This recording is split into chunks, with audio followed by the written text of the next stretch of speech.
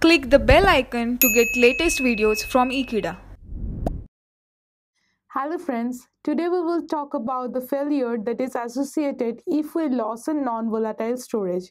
We will see different parts and the way we can achieve the failure and recover from it if the non-volatile storage data will be lost.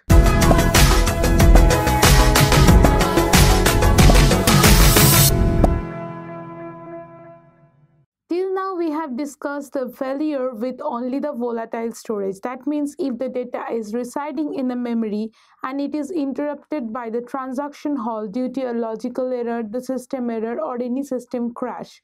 But what happened if the stable storage that is storing the database entirely is being halted or there is any fault in this non-volatile storage?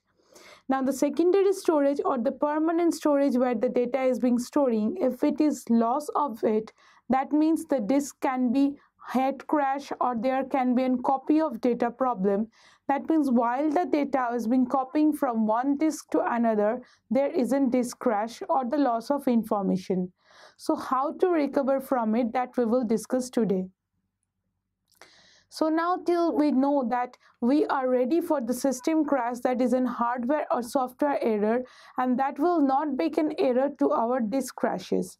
But if disk crashes are there, the one and only solution is to redundantly store the data.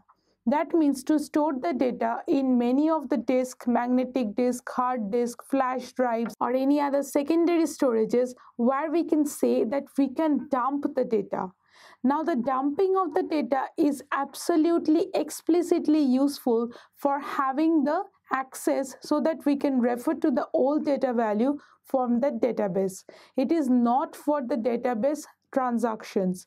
So the database can be transacted from a single disk or a single secondary storage or from which we can fetch it to the main memory but we can dump that to many of this non-volatile storage so that if there is a loss of this primary secondary storage then we can look for the data and get back the data result from to this secondary storages where we are dumping this data the basic scheme of dumping an entire database periodically, say for a day's end or a month end or a week's end. So it is upon the database's need. If it is a large database and it is more prone to lose that particular non-volatile storage, then we need to dump the data at the day's end or a week's end or a month's end that will be decided by the database designer.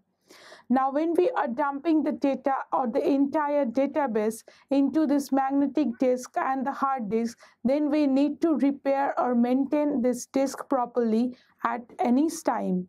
Now we need to recover from the data if there is a failure on this loss of volatile storage and also this non-volatile storage. Now, when we are dumping the data into another one, there are four rules or four steps that we need to perform. We need to all the data that is dumped into this magnetic disk must be the updated value that we can get from the disk. Next is we are dumping all the records that is maintained in the log for this database. The third is all the database contents has been dumped into the new disk.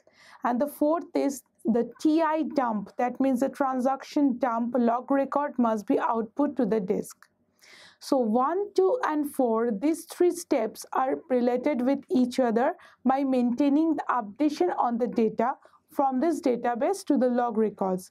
But the third one, which is dumping the database content, is entirety of this database that it needs to restore.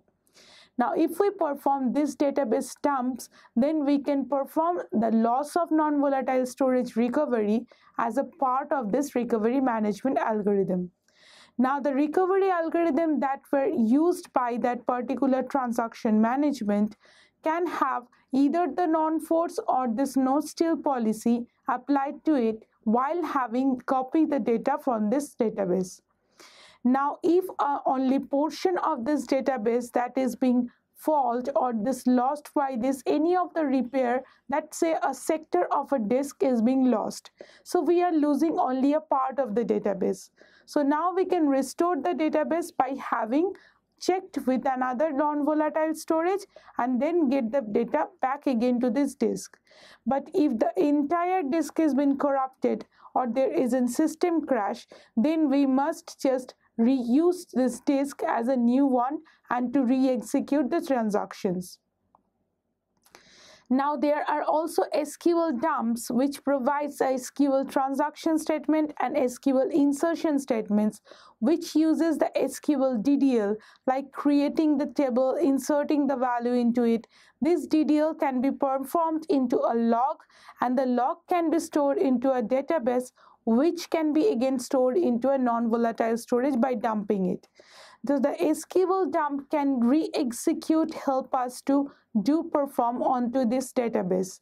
Now re-executing these SQL statements will again create the table, insert the same values with not executing again in the SQL just by replacing the dump in the SQL.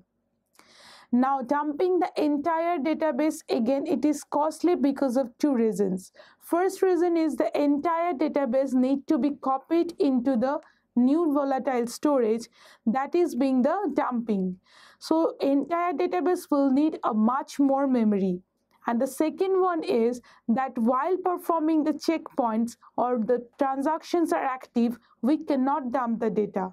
So after the transaction has updated a particular portion on the data, then only we can dump the data into this another portion on the memory. So the CPU cycles are also wasted and CPU cycles are very much expensive as we know. So the two expenses that is costing us is the memory requirement and the CPU cycles that are wasting. So now to remove this problem, we can use the fuzzy dump. Wasn't and fuzzy dump, the fuzzy dump is just like fuzzy checkpoints which allow dumping to be done at the time when the transactions are active and the database are actively updated on the transactions. Now the fuzzy dumps are made to a temporary area while the updations are being performed by the transactions and after the transaction has been performed now the dump temporary area can be stored into a non-volatile storage to affect that updated result back to the database. Now fuzzy dumps are extremely useful while we are dealing with this larger updates and the transactions within larger portion of the database.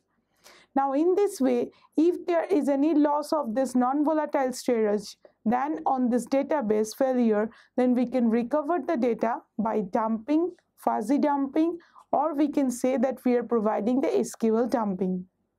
Thank you for watching this video. Stay tuned with Ekeeda and subscribe to Ekeeda.